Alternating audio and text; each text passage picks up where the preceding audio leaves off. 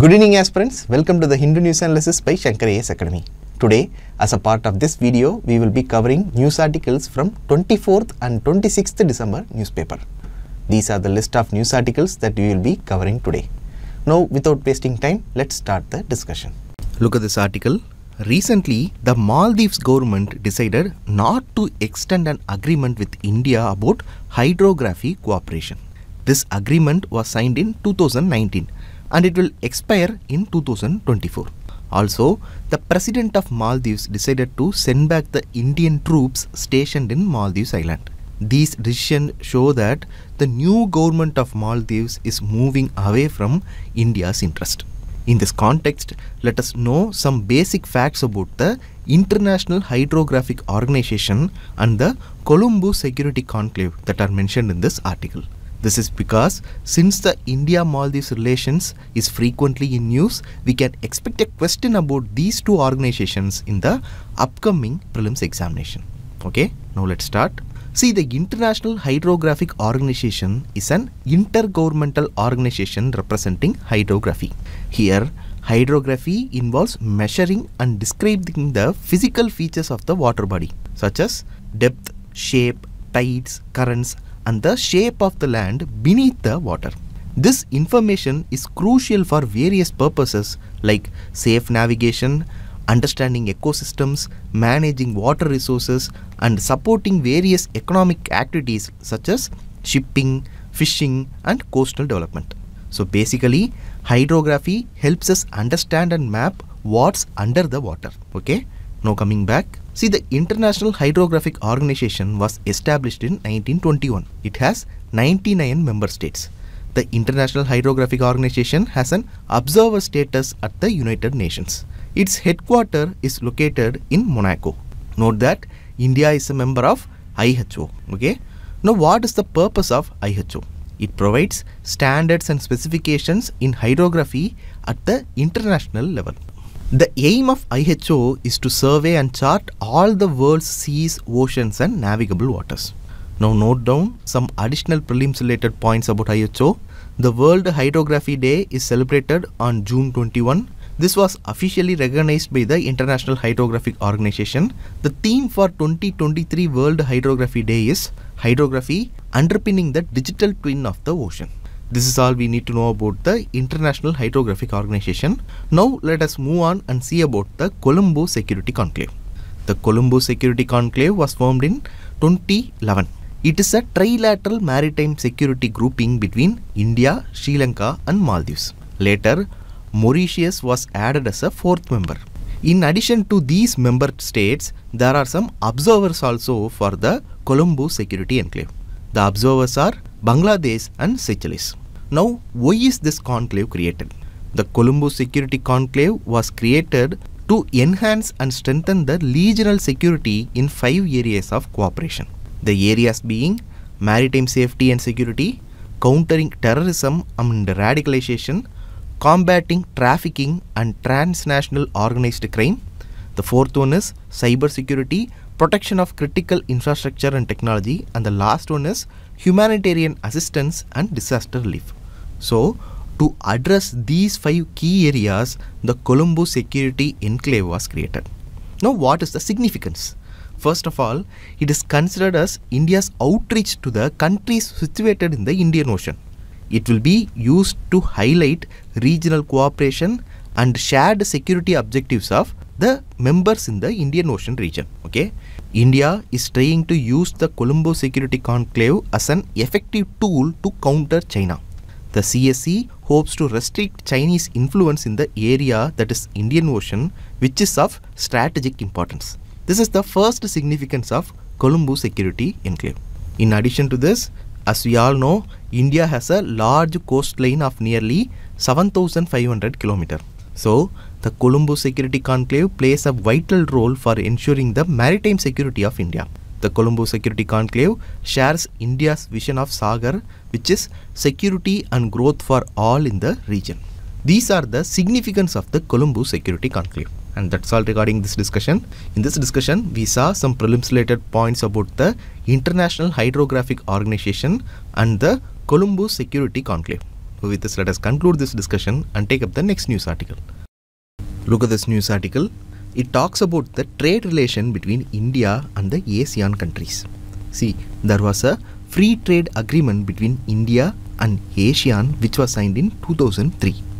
When the agreement started, India's trade deficit with the ASEAN region was only $7.5 billion every year. But this trade deficit has grown significantly to $43.57 billion in 2023. So, in order to bridge this huge trade gap, negotiations are going to take place between India and ASEAN. This is the crux of the article given here. So, in this discussion, we will understand the important points about India-ASEAN relations in detail. We will approach this discussion through our usual mains answer rating approach. First, look at the question. The question is, what are the areas of cooperation between India and ASEAN? What obstacles and complexities affect their relationship and what strategies can be employed to enhance and strengthen India-ASEAN relations in the future? See, this question can be asked in GS paper 2. Okay. See here, the question demands us to write three things. First, we have to write about the areas of cooperation. Second, we have to write about the challenges in the relationship between India and ASEAN. Lastly, we have to provide some solutions to address the challenges between India-Asia relations. This is the bone or the structure of the question. Okay. Now, having understood the question and having understood how to approach the question, let us start. Let us start with the introduction. See, in the introduction, we can write about the basic information about ASEAN. ASEAN or Association of Southeast Asian Nations is an regional intergovernmental organization. It has 10 member countries, the member countries being Brunei, Cambodia, Indonesia, Laos, Malaysia, Myanmar, Philippines, Singapore, Thailand and Vietnam. ASEAN aims to promote cooperation on political, economical, social and cultural aspects to enhance the peace, stability and prosperity in the region. This is a basic info about ASEAN. You can also link India with ASEAN in order to be more relevant to the needs of the question. See, India began formal engagement with ASEAN in 1992 as a sectoral dialogue partner. Then it became a dialogue partner in 1995. Then it was further upgraded to summit level partnership in 2002. India is the sixth largest trading partner of ASEAN and India and ASEAN signed a free trade agreement in 2003. You can mention some of the points that we discussed in the introduction to make your introduction look as a studied introduction. Okay. Now coming to the main body of the answer. In the body part, we are going to discuss three aspects which is demanded in the question. That is areas of cooperation, challenges and way forward in India-ASEAN relations. Under each subheading, it is enough to mention 4 or 5 points because it is a 15 marker. Okay. First, let us take up the areas of cooperation. Starting with regional connectivity, India and ASEAN are working on various connectivity projects like India, Myanmar, Thailand Trilateral Highway and the Kaladan Multimodal Transit Transport Project. If you see India-ASEAN economic relations, India's trade with ASEAN stands at 10.6% of India's overall trade. India's export to ASEAN stands at 11.28% of the total exports of India. As we have seen earlier, India and ASEAN have a free trade agreement which will be renewed next year. Now moving on to the third point that is the defense cooperation. India and ASEAN have strengthened defense cooperation by conducting joint military exercise such as ASEAN India Maritime Exercise and the ASEAN Defense Ministers Meeting. For example, India places ASEAN as an important part of India's Sagar policy that is security and growth for all in the region policy. Now moving on to the fourth area of cooperation that is cultural cooperation. India and ASEAN have promoted cultural exchanges to enhance people to people ties. For example, inviting Asian students to India each year for student exchange program and ASEAN India network of think tanks. Okay. Another important part of cooperation is the Delhi Dialogue. It is an annual forum for discussing politico security, economic and socio-cultural issues between ASEAN and India. These are some of the points about areas of cooperation between India and ASEAN which you can mention in the answer. Okay. Now moving on to the second part which is the challenges in the India-ASEAN relations. Here the first challenge is the trade balance. India's trade deficit with ASEAN has increased over the years. This has led to concerns in India about the benefit of the ASEAN-India Free Trade Agreement. This is what we have seen in the news article also today. Okay, this is the first challenge. The second challenge is the nature of engagement. India still engages with ASEAN countries more on a bilateral basis rather than a multilateral approach. This is the second challenge. The third challenge is the competing regional agreements. Agreements such as RCEP and the Comprehensive Progressive Agreement for Trans-Pacific Partnership diverts the attentions away from the India-ASEAN relationship.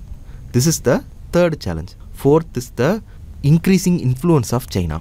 The existence of powers like China limit the ability of the Asian Indian potential for regional stability. Okay. The last challenge is the limited connectivity between Asia and India. Despite efforts to enhance connectivity, the physical and the digital connectivity between India and Asian countries is limited. This has affected the potential trade, investment and people-to-people -people ties. See, these are some challenges in the India-ASEAN relationship. Okay. Moving forward, finally, we can see the steps that can be taken to enhance the cooperation between India and the ASEAN countries. Here, firstly, you can mention about the military ties. See, ASEAN countries have limited military ties with China due to maritime dispute. India can fill this gap and India can become a significant military partner in the region. Secondly, India must enhance the cultural connection with the ASEAN. Here, tourism can play a huge role. Both these regions have common culture and historical ties. So, this tie can be used to build tourism and people to people ties between India and the ASEAN region. Thirdly, India can consider about enlarging the Quad.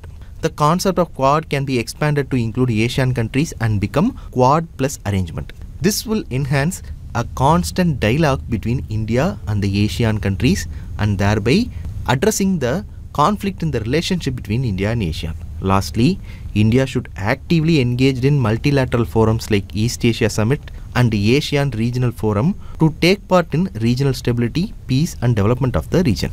These are some of the strategies that can be employed to enhance the cooperation between India and ASEAN.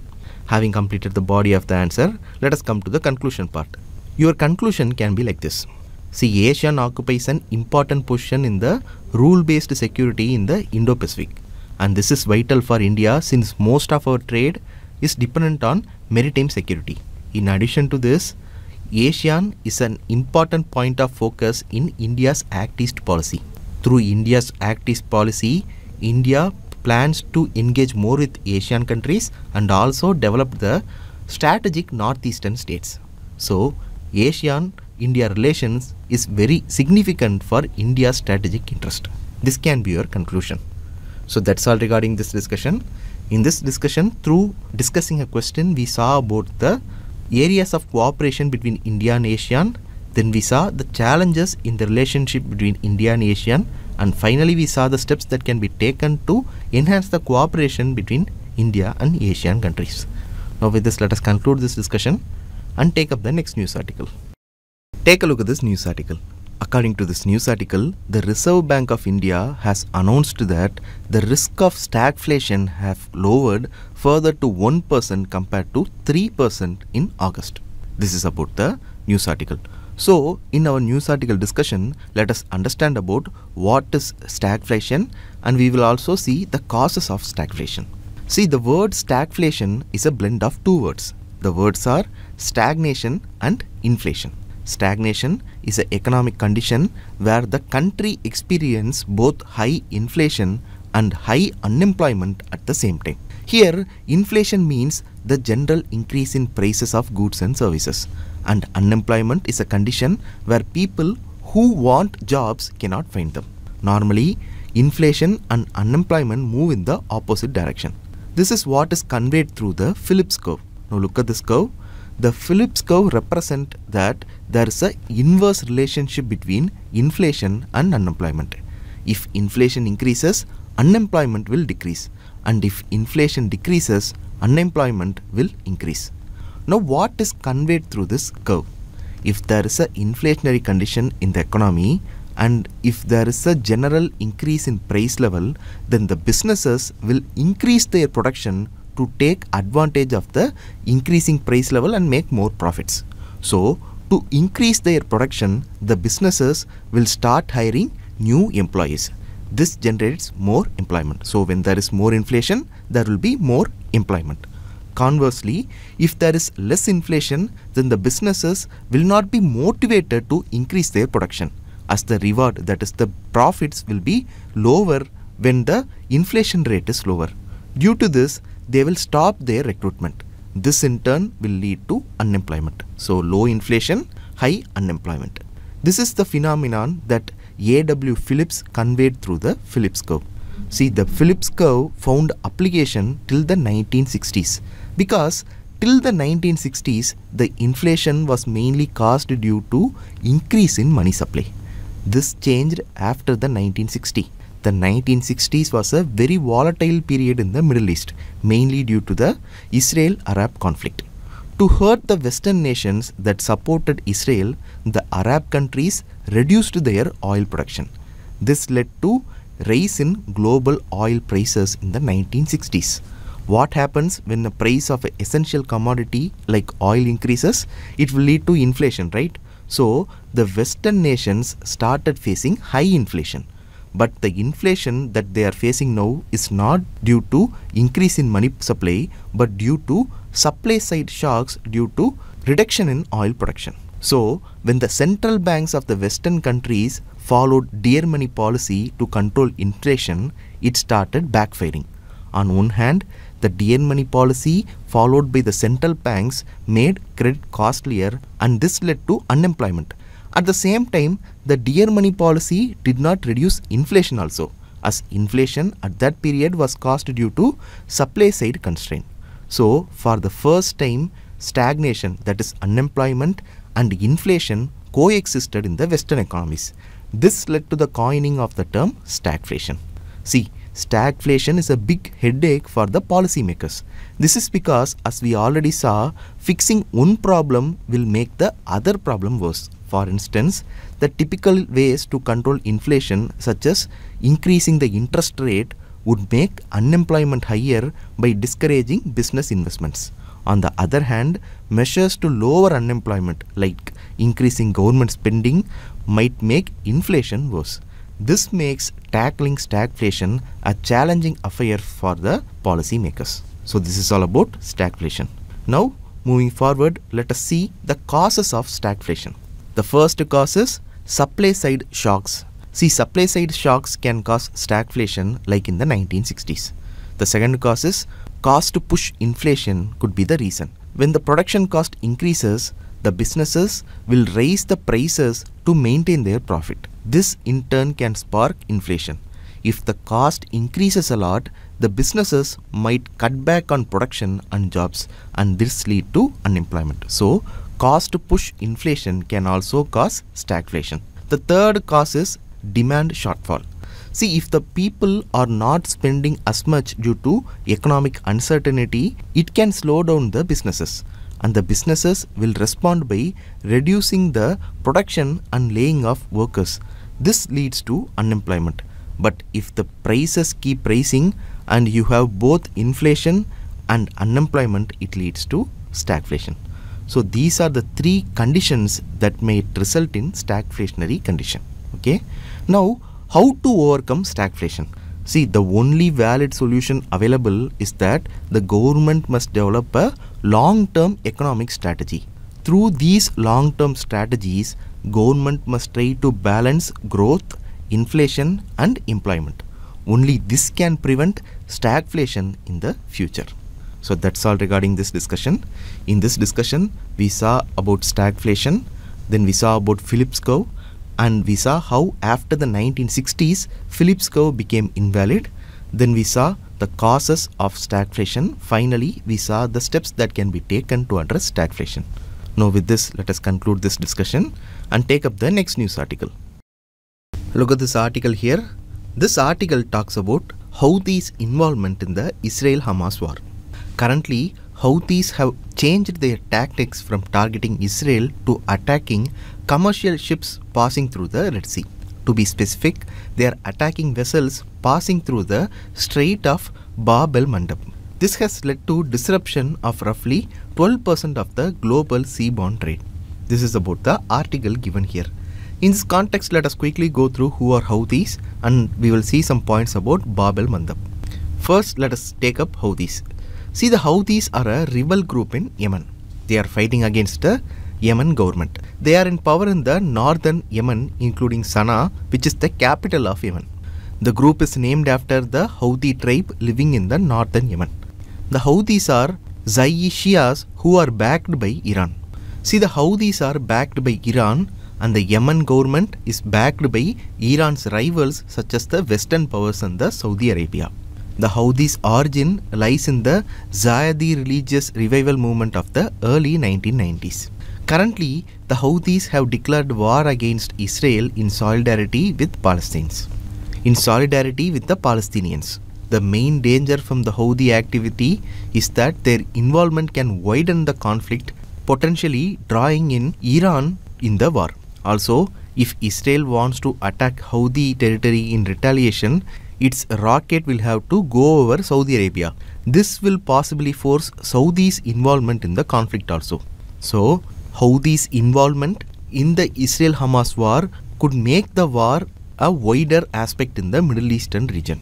But we have to still wait and watch how the war scene proceeds in the future. This is all about Houthis. Now moving forward, let us see about the Bab el-Mandab Strait. First, what is a strait? A strait is a narrow passage of water connecting two seas or two other large areas of water. Bab el-Mandab Strait is a strait between Arabia in northeast and Africa in the southwest. Bab el-Mandab Strait connects the Red Sea and the Gulf of Aden and the Indian Ocean. While Yemen borders it on the Arabian Peninsula, Djibouti and Eritrea borders it on the African continent.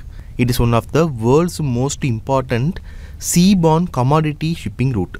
This strait connects the shipping route coming from Europe to Asia. So that's all regarding this discussion. In this discussion, we saw some basic points about Houthis and Bab el-Mandab Strait. Now with this, let us conclude this discussion and take up the next news article. Take a look at this FAQ article from Sunday's newspaper. This news article talks about the provisions of the Telecommunications Bill 2023. We have already covered the important provisions of the bill on our 21st December daily news analysis. So, in today's discussion, let us focus on the concerns around the bill. Let us start with the concerns. See, in chapter 4 of the bill, there are some controversial rules. These provisions give special power to the central government during emergencies in regards to public safety and national security. Here, the contentious provision is Section 19F. Section 19F specifically allows the central government to set rules about how encryption and data processing should be done in telecommunication. This raises privacy concerns. Now, let me explain this with an example. See, WhatsApp can trace the origin of the message using its source and destination codes. However, WhatsApp doesn't allow any group or a government, including the Indian government, to view the messages sent between the users. If the Indian government makes a rule under Section 19F, that is Standards and Conformity Assessment Measures, saying that WhatsApp must let the government see encrypted data, then WhatsApp has to follow it. So, this raises worries about privacy. This is the first concern. Secondly, many people consider the Telecommunications Bill 2023 as a draconian law because they believe that this 2023 bill might allow for mass surveillance and internet shutdowns. See, the bill grants significant interception authority to the central government.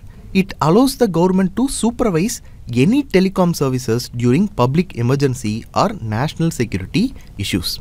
The bill lets the government officer seek interception, disclosure, and suspension of services for public safety reasons. These parts of the bill resemble mass surveillance according to the critics. the government also gains the power to halt or stop the telecom services and temporarily control any telecom services or network during emergency. It is because of these provisions the critics view the 2023 telecommunication bill as a harsh and severe draconian law. See, these are the concerns surrounding the bill. Having seen the criticism, now let us also see the positives of the bill. The first positive is ensuring uniformity in right of way rules. See, the bill brings in uniform rules across states for setting up telecom infrastructure in public and private places. Okay. This uniformity in rules resolves the issues like standardizing rates, limiting charges, and thereby making it easier to install telecom infrastructure on private property. So, this move is welcomed by all the stakeholders in the telecom industry. Okay, this is the first positive. Moving on, see this bill also will lessen the tax burden on telecom networks. See, this bill excludes the telecom network infrastructure from the definition of property. So, the telecom network infrastructure will not attract property taxes. This eases the tax burden on the telecom sector, making their operation smoother. So, this is also an important positive of the bill which is stated by the telecom sector stakeholders. This is the second positive. Moving on, the third and the final positive is that the bill will give boost to satellite communication. The bill includes satellite based networks in spectrum allocation. This move is welcomed by the ISRO because according to ISRO, this move of the government will aid the growth of the space sector and make India stronger in the global satellite market. Okay, so these are the three main positives associated with the Telecommunications Bill 2023. So that's all regarding this discussion. In this discussion, we saw the concerns and the positives surrounding the Telecommunication Bill 2023. With this, we have come to the end of the news article discussion session. Now let us take up the practice prelims questions. We have three practice prelims questions today. Let us see them one by one. Look at the first question. Which of the following pairs of countries are part of the Colombo Security Conclave recently seen in news? From our discussion, we know that the correct answer here is option B. India, Mauritius, Sri Lanka and Maldives are the members of Colombo Security Council. Okay. Moving on to the second question. Due to corona pandemic, the economy of a particular country has contracted. To counter this and bring the country to the growth path, the central bank of the country follows cheap money policy. What is expected to occur due to cheap money policy followed by the central bank? See, during cheap money policy, credit becomes cheaper. When credit becomes cheaper, money supply increases. When money supply increases, what happens? There will be inflation in the economy. So the correct answer here is option C, inflation. Okay. Moving on to the last question. It is a pair based question. Three pairs are given. On one side, rebel groups are given and on the other side, the area of operation is given. We have to find how many pairs given here are correctly matched. See Houthis they operate from Yemen. So pair number 2 is correct. And Boko Haram, they operate from Nigeria. So the pair 3 is also correct. But the first pair is wrong because Al-Shabaab is a Al-Qaeda affiliated rebel group which operates from Somalia and not Palestine. So the first pair is incorrectly matched. So the correct answer here is option B, only 2. With this, we have come to the end of the video. If you like today's video, like, comment and share it with your friends. For more updates regarding UPSC preparation, subscribe to Shankar IAS Academy's YouTube channel. Thank you for listening.